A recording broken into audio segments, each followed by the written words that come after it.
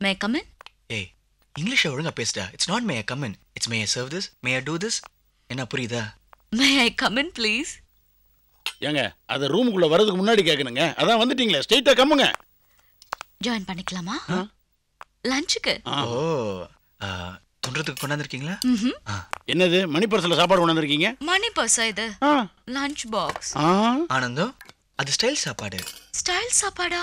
அப்படின்னா? அது ஒன்றும் இல்லைங்க இந்த காலத்து பொண்ணுங்க ஆஃபீஸ் வரும்போது இத்தினோடு சின்ன டிஃபன் பாக்ஸு அதில் கொஞ்சோண்டு சோறு இந்த விரல் அளவுக்கு ஒரு ஸ்பூனு அதை வச்சுட்டு ஒரு அரை மணி நேரமாக பேசிக்கிட்டே ஒவ்வொரு பருக்கையா எண்ணி உள்ள போட்டுக்கிட்டே டுடே லஞ்ச் இஸ் டூ ஹெவியா அப்படிம்பாங்களே அதுக்கு பேர் தான் ஸ்டைல் சாப்பாடு. என்னது? சாப்பாட்டுக்குள்ள மூக்குப்பொடி டப்பா வச்சிருக்கீங்க? ஆனந்தம்.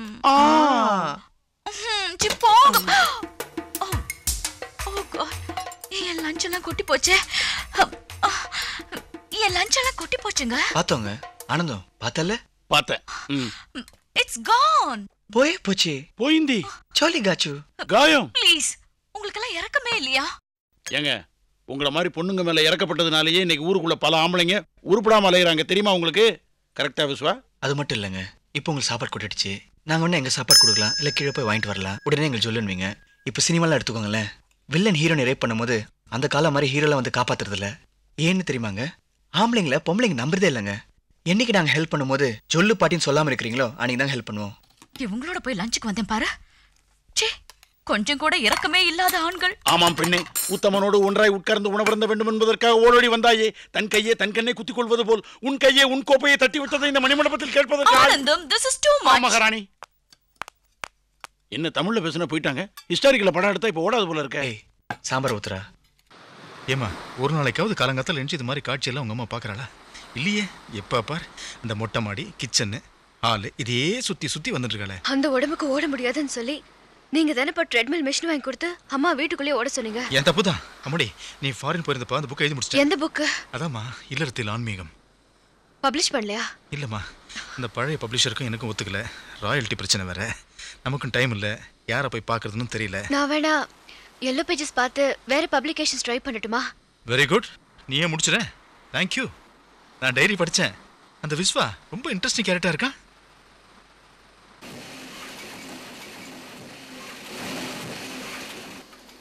எக்ஸ்கியூஸ் மீ என்னங்க? நான் அசிஸ்டன்ட் கமிஷனர் ரவீந்திரனோட பொண்ணு. ஒரு புக் விஷயமா? காலையில் ஃபோன் பண்ணிருந்தீங்க இல்லையா? நான் ஓனர்கிட்ட சொல்லியிருக்கேன். நீங்கள் நேராக போய் லெஃப்ட்டில் போங்க. Okay thank you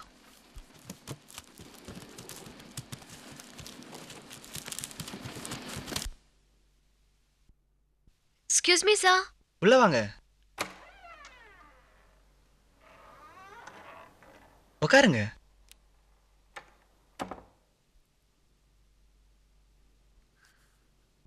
நீங்க விஸ்வா தாங்க. படிக்கலான்னு புத்தகம் எடுத்தேன். புத்தகம் மாதிரி நீங்களே வரீங்க. ஓ தேங்க்யூ கொஞ்சம் மேலே உட்காருங்களா ஆ? பெட் மேலே உட்காருன்னு சொன்னேன். ஆமா நீங்க எங்க இங்க? பிஸ்னஸில் ஏகப்பட்ட லாஸ் அப்பா கம்பெனி இழுத்து மூடிட்டாரு. இது எங்கள் அப்பாவோட பார்ட்னர் கம்பெனி தான். வீட்டில் சும்மா உட்காரதோட இங்கே வந்து வேலை பார்க்க சொன்னார். அதான் இங்கே. அப்ப நான் கிளம்புறேன் என்னங்க வந்ததும் கிளம்புறீங்க. இல்ல இது எங்க அப்பா எழுந்த புத்தகம். இத பப்ளிஷ் பண்ற ஐடியாவோட தான் நான் இங்க வந்தேன். இந்த லைனுக்கு நீங்க புதுசு. உங்களை நம்பி நான் அப்படி கொடுக்கறது? ரொம்ப வேர்க்குதுல்ல ஆ. ரூம் டெம்பரேச்சர் நார்மலாக தான் இருந்தது. நீங்கள் வந்த அப்புறம் டெம்பரேச்சர் தானே இன்க்ரீஸ் ஆயிடுச்சு. சரியாயிடும் நான் லைனுக்கு புதுசுன்னு சொன்னீங்களே? இவ்வளோ பெரிய பப்ளிஷிங் கம்பெனி என்னை நம்பி கொடுத்துருக்காங்க. ஒரு புக்கை கொடுக்கறது பயப்படுறீங்க? இல்லை நான் ஒன்றும் பிரிண்ட் பண்ண போகிறதில்ல மிஷின் பிரிண்ட் பண்ண போகுது. ப்ரூஃப் வேறு யாரோ பார்க்க போகிறாங்க இந்த கம்பெனிக்கு நல்ல குட்வில் இருக்கு. இந்த புக்கு அந்த குட்வில்லை காப்பாற்றுமா இல்லையா தான் நான் பார்க்கணும். இது எங்க அப்பா எழுந்த புத்தகம். கொஞ்சம் சத்தமாக பேசுங்களேன் காதில் விழல. வேணா ஒன்று பண்ணலாமா? உங்களுக்கு ஏன் மேலே சந்தேகம்? எனக்கு புக்கு மேலே சந்தேகம். இந்த புக்கை கொடுங்க நான் படித்து பார்க்குறேன். நாளைக்கு மீட் பண்ணி முடிவு பண்ணுவோம். படிப்பீங்களா? இதெல்லாம் நான் படிக்கிறது. கொடுங்க. நாளைக்கு இங்கே வரட்டுமா? பீச்சுக்கு போகலாமா பீச் அதுக்கே இங்கே ஷாக் ஆகுறீங்க? இப்போ இந்த புக்கை பற்றி பேசுறது நம்ம ரெண்டு பேரும் சாதன ஹோட்டல் போனோம்னா நான் உங்களை தள்ளிட்டு வந்துட்டேன்னு சொல்லுவாங்க. அதே ஒரு ஃபைவ் ஸ்டார் ஹோட்டல் போனோம்னா பேச போகிறது தமிழ். மிருகத்தை பார்க்குற மாதிரி பார்ப்பாங்க. ஏன்னா தமிழ்நாட்டில் தமிழ் பேசினாலே தப்பு. தமிழ் இலக்கியம் பேசணும்னா? பீச்சுக்கு போகணுன்னு வைங்களேன் தமிழ் பேசலாம். தமிழ் இலக்கியம் பேசலாம். ஏன்னா வான ரசிக்கும் கடல் ரசிக்கும் பூமி ரசிக்கும். நானும் ரசிப்பேன் நீங்களும் ரசிக்கலாம். அதனால தான் பீச்சுக்கு போகலான்னு சொன்னேன். உன்னை நல்லா முட்டாளாக்கியிருக்காரு. அவரை பாத்தியா? ஒரு புக் பப்ளிஷ் பண்ண போனேன் பார்த்தேன் ஓ அங்க பாத்தியா? அந்த பப்ளிஷிங் ஹவுஸ் இந்த ஆஃபர்ஸ் இன்னும் நிறைய பிசினஸ் இருக்கு அவருக்கு. விஸ்வா ஒரு இன்ட்ரெஸ்டிங் கேரக்டர் அவர் என்ன சொன்னாலும் அதுல ஒரு பஞ்ச் இருக்கும். அது எனக்கு ரொம்ப பிடிக்கும். அது பஞ்ச் இல்ல. லொல்லு.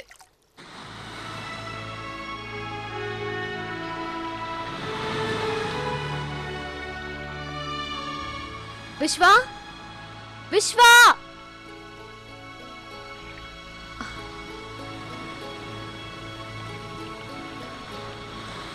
ஹலோ உங்க ரசிப்பு தன்மை உண்மையா பொய்யா? காகி சட்டை போடுறப்போ உள்ள தைரியம் உங்க அப்பாவுக்கு பேனா பிடிக்கிறப்ப இல்லைன்னு நினைக்கிறேன். ஆனா அந்த புத்தகத்தை முடிக்கும்போது சிந்தையாவும் தெய்வத்தின் சிந்தை செய்கையாவும் தெய்வத்தின் செய்கை உய்கை கொண்டதன் நாமத்தை கூறின் உணர்வு கொண்டவர் தேவர்களாவார். வையமெல்லாம் தெய்வ வலியின்றி வேறில்லை தெய்வம் நீ என்று உணர். அப்படின்னு கண்ணதாசன் வரிகளில் முடிச்சு மனுஷனே தெய்வம்னு சொன்னார் பாத்தீங்களா? அது எனக்கு ரொம்ப பிடிச்சிருக்கு.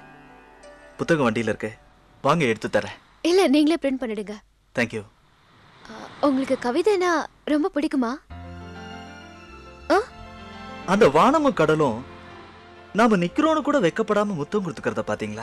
அது கூட ஒரு கவிதை தான். உங்களுக்கு பிடிச்சிருக்கா? ம். பொய் பிடிக்குது? பொய்யா? ம். கிட்ட போனா அந்த வானமும் கடலும் வெக்கப்பட்டு விலகி ஓடிடும். அது பொய். எப்பவுமே பொய் பேசுற கவிதை பிடிக்கும். எப்போது பொய் பேசுற விஷயம் பிடிக்காது. அம்மா ஏன் கேட்டீங்க? நான் நல்லா கவிதை எழுதுவேன். புக்கா பிரிண்ட் பண்ணுவீங்களா? தமிழ்நாட்டுல ஜனத்தொகை அஞ்சு கோடி பேர் இருக்காங்க. அதுல நாலு கோடி பேர் கவிதை எழுதுறாங்க ஒரு கோடி பேர் கதை எழுதுறாங்க. அதுல நீங்களும் ஒருத்தர? இல்ல என் கவிதை வித்தியாசமா இருக்கும். உங்களை மாதிரியே அழகா இருக்குமா? ம். அப்ப பிரிண்ட் பண்ண முடியாது. ஏன் அழகானதை ரசிக்கலாம் புத்திசாலித்தனத்தை பிரிண்ட் பண்ணலாம். என் கவிதை புத்திசாலித்தனமாவும் இருக்கும். கொண்டாங்க பார்ப்போம் எப்போ? ம், நாளை காலையில் ஏழு மணிக்கு வர சொன்னால் நான் பாத்ரூமில் இருப்பேன் அசிங்கமாக இருக்கும். நைட் எட்டு மணிக்கு மேலே வர சொன்னால் நீங்கள் தப்பாக நினைப்பீங்க. ஹோட்டலுக்கு போகலாமா என்னது? நான் ஒன்றும் தப்பாக சொல்லிங்க இப்போ பீச்சில் வந்து பேசிகிட்டு இருக்கோம் இல்லையா? அதே மாதிரி ஹோட்டலில் போய் புக்கு பிரிண்ட் பண்ணலாமா வேணாமான்னு பேச போகிறோம் அவ்வளோதானே எப்போ கொண்டு வர? ம், நான் ஃபோன் பண்ணுறேனே ம் ஓகே இப்போ நான் அந்த பொய்யை ரசிக்க போகிறேன் பொய் கூட இருந்து பொய்யை ரசிக்கிறீங்களா இல்லைன்னா? இல்லை நான் கிளம்புறேன். ஓகே பாய் ஓகே பாய்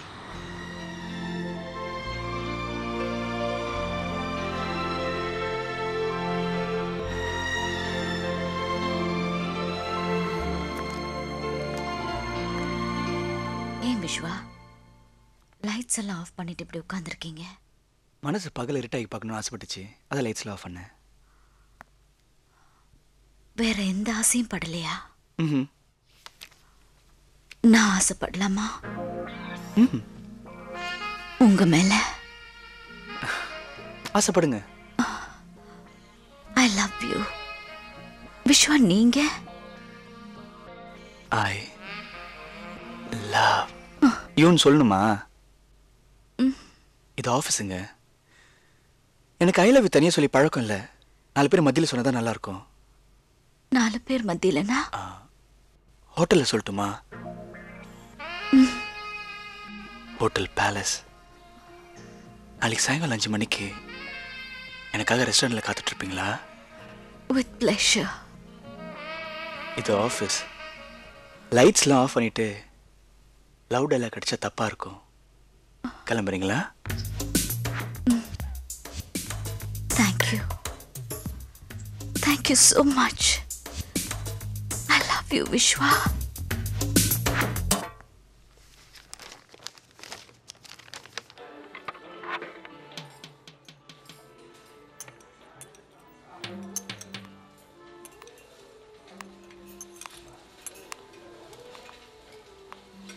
Jyothi? Hi come come come என்ன இங்க? நீ எங்க இங்க?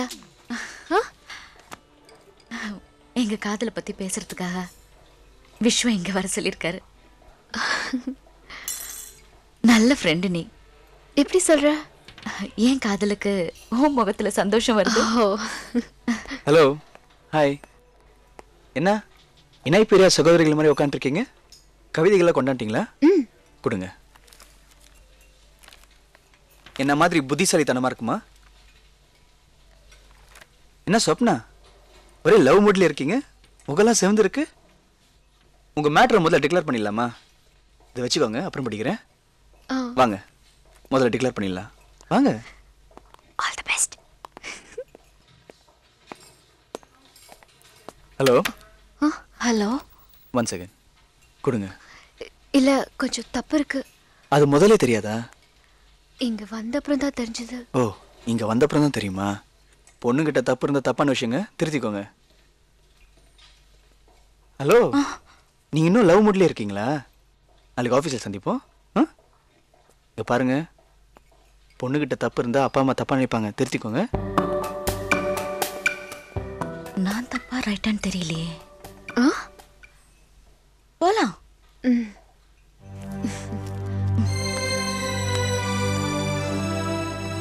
ஏமா முகம் வாடி இருக்கு? முகம் தெரியாத காதல் நினைச்சா? இல்லப்பா முகம் தெரிஞ்சிருச்சு. ஏய் யாரு? நான் யார தீண்டவும் முடியாது திருத்தவும் முடியாதுன்னு. விஸ்வா? ம். அவரை தான் தீண்டியிருக்கேன். அதேண்டி இவ சோகமா சொல்லிட்டு இருக்கா அதானே? சொந்தம் சுகந்தம் வசந்தம்னு. காதல காமெடி ஆக்கின கேரக்டர் அது. நாளைக்கு லண்டன் கூட்டிட்டு போய் ஒரு பொக்கையை வச்சு ஐ டோன்ட் லவ் யூ என்கிட்ட சொல்லிட்டா? அம்மாடி நீ காதல சந்தேகப்படுறியா? இல்ல காதலனை சந்தேகப்படுறியா? உங்க ரெண்டு பேருக்கு முன்னால காதல சந்தேகப்பட முடியாதுப்பா. அப்போ காதலனை சந்தேகப்படுற? விஸ்வ விட்டு நானே பேசுறேன். ஆ? இட்ஸ் வெரி சிம்பிள்மா புக் மேட்டர் நம்மகிட்ட இருக்கே. நானே ஃபோன் பண்ணி நானே நேர்ல வரேன்னு சொல்றேன். அவன் மனசுல என்ன இருக்குன்னு தெரிஞ்சுப்போம். இட் இஸ் வெரி சிம்பிள் நீ சாண்ட்விச் சாப்பிடு. சாப்பிடுமா?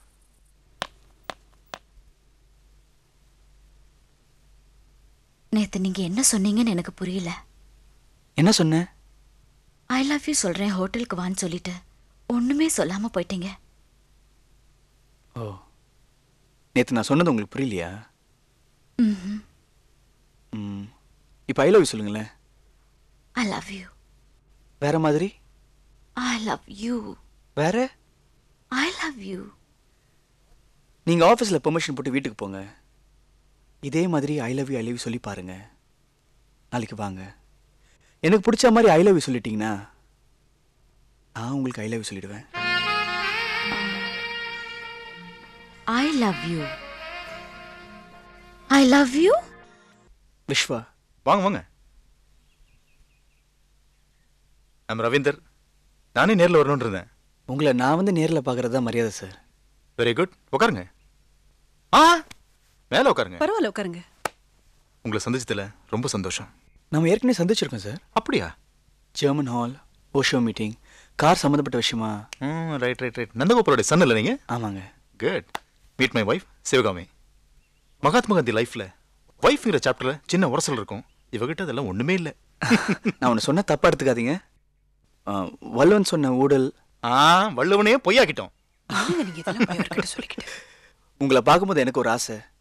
உங்க வயசுல நானும் இதே மாதிரி காதலிக்கணும். யார் வேணாலும் விஸ்வா காதலிக்கலாம். ஆனா அவன் யாரையும் காதலிக்க மாட்டான். அப்படி காதலிக்கிறதா சொன்னா அது நடிப்பா தான் இருக்கும். உங்க வீடும் சரி மொட்டை மாடியும் சரி.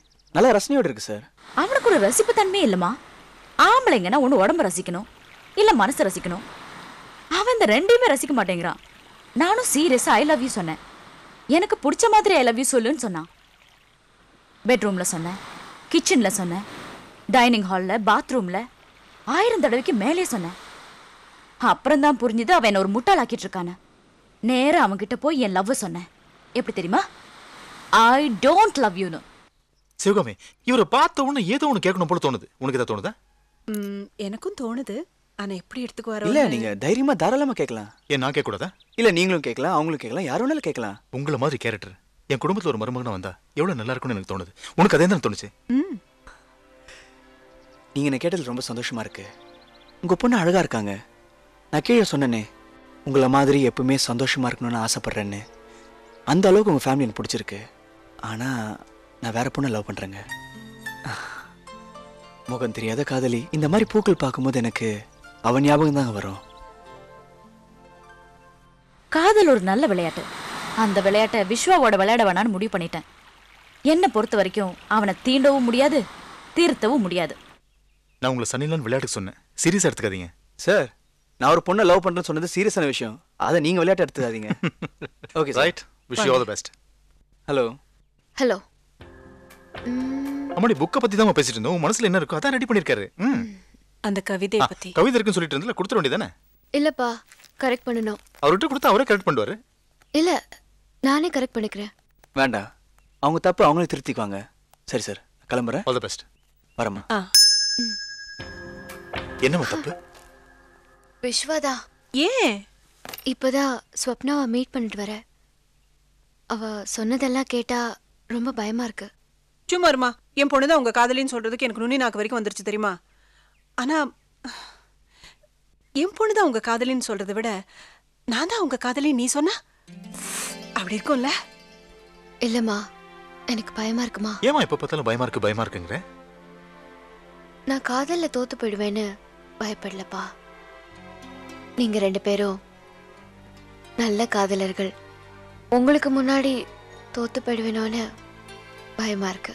அம்மாடி காதலிக்கும் போது பயம் இருந்தாதான் கல்யாணம் சந்தோஷமா இருக்கும். சேர் அப்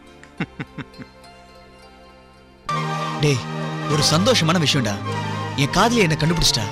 எனக்கு தெரியாம என்ன போட்டோ எடுத்து ஒரு லெட்டர் எழுதி அமைச்சிருக்கா இது சொல்லலாம்னு உனக்கு தேடினா ஆனா நீ அப்பாவோட போயிட்ட. ஏய் இந்த லெட்டர் படிச்சு பாரு. ரொம்ப இன்ட்ரெஸ்டிங்கா இருக்கு. நாளைக்கு காலையில எனக்கு கோயிலுக்கு வர சொல்லியிருக்கா. அங்க பாக்குற இடம்லாம் அவ பேர் இருக்குமா? என் காதலி இங்க தான் எங்கேயோ இருக்கிறான்னு நினைக்கும் போது எவ்வளவு சந்தோஷமா இருக்கு தெரியுமா? ஆ.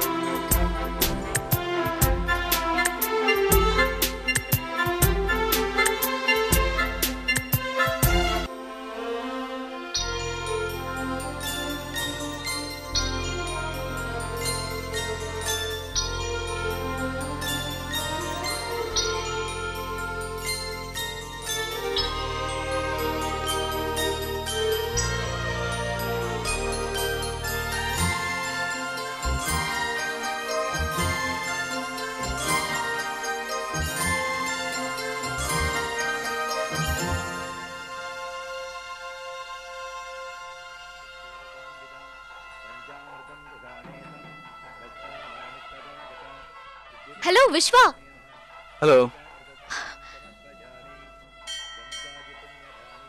கொஞ்சம் பேசலாமா? என்ன? உங்க கவிதையை பத்தி பேச போறீங்களா? இல்லைங்க உங்களை நான் லவ் பண்றேன். லவ்வா என்ன விளையாடுறீங்களா? இல்ல உண்மையிலேயே உங்க மனசுல என்னதான் நினைச்சிட்டு இருக்கீங்க? உங்களை தான் என்னையா? நினைக்க கூடாதா? நீங்க என்ன வேணாலும் நினைங்க. ஆனா என்ன நினைக்காதீங்க. ஏன்னா நான் உங்களை நினைக்கல. நான் வேற போல நினைச்சிட்டு இருக்கேன். ப்ளீஸ் என்ன டிஸ்டர்ப் பண்ணாதீங்க. உண்மையாவா? நீங்க என்ன காதலிக்கலையா? நான் உங்களை காதலிக்கிறேன் விஸ்வா. நீங்க சீரியஸா சொல்றீங்க விளையாடுறீங்களா? நீங்க வேணும்னா பத்து பேருக்கு முன்னாடி என்ன காதலிக்கிறேன்னு சொல்லி விளையாடலாம். ஆனா நான் உங்க பக்கத்துல வந்த உடனே நான் உங்களை காதலிக்க ஆரம்பிச்சிட்டேன் ஜோதி நான் ஒரு பொண்ணை காதலிக்கிறேன்னு சொன்ன பார்த்தீங்களா? இது வரைக்கும் நான் உங்க முகத்தை பார்த்ததே இல்லை. முகமே பார்க்காத ஒரு பொண்ணு மேல காதல் வருது. முகம் பார்த்து உங்க மேல வரல. அது உங்க தப்பு இல்ல எனக்கு உங்களை பிடிக்கல. பொண்ணுங்கன்னா பூ மாதிரின்னு சொல்லுவாங்க. நான் அந்த பொண்ணை பூவாவே நினைக்கிறேன். நான் கூட பூ மாதிரி தான் விஸ்வா நான் சொன்னது நீங்க புரிஞ்சுக்கலன்னு நினைக்கிறேன். நீங்களா பூவை வச்சுக்கிற பொண்ணு. அவங்க பூவாவே இருக்கிற பொண்ணு. சாரி என் காதல் தான் உங்களுக்கு பிடிக்கல. என் கவிதையாவது புக்கா போடுவீங்களா? கொண்டாங்க. நல்லா அந்த பிரிண்ட் பண்றேன்.